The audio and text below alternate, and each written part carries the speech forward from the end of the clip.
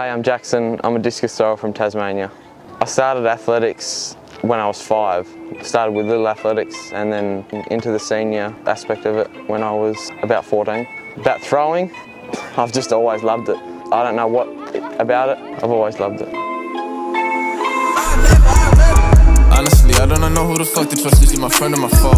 I'm a sort of everything is really important about the discus. The release, the how fast you're going, you know, where your feet are placed, there's a lot of aspects to it. If you start, you probably start off with just doing a couple of standing throws with just, with just the discus. And then once you sort of get that down pat, you can start to um, transition into spin, which is a little bit more advanced, but uh, also helps improve your distance. Most of the stuff that I look for when throwing and, and not just throwing as well, you have to be very powerful and lots of uh, fast twitch muscle fibres that help you really explode the throw and um, try and send it as far as you can.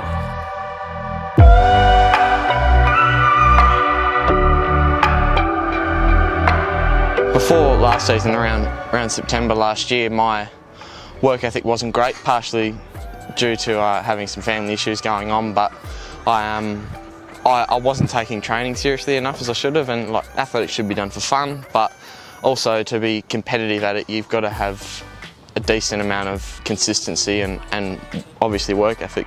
I fouled out at all schools last year, meaning that I couldn't uh, qualify to go to Perth, which is, was upsetting at the time, but I um, am thankful that that happened because after that I uh, knuckled down and, and, made heaps of changes with uh, my throwing, gym, recovery and, and all, the, all those aspects of the throwing journey. Because of these changes, I'm much stronger in throwing and gym as well. I take my time, flex like whoa.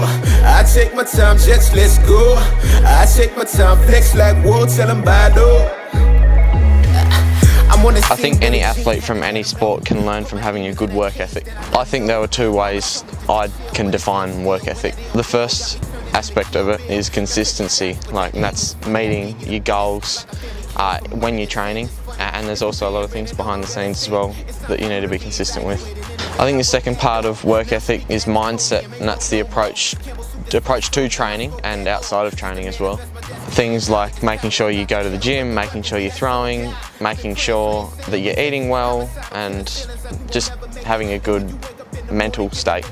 And that's like just hanging around with good people and and just that's what Tassie's that's what Tassie's about. feelings like we won't ever make it. And when you wake up in the morning, see that song guy.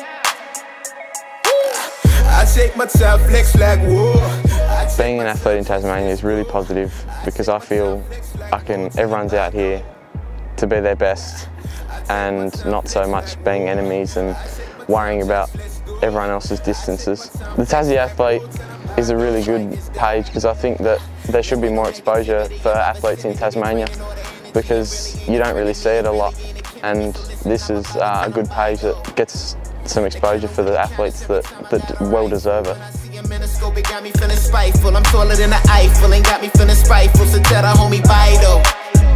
Now I don't like the rock jewels, man, I'd rather drop those. Killings on the block, leaving shells, call them. Man, I got them hot flows, treat them like a snot nose, meaning that they sick.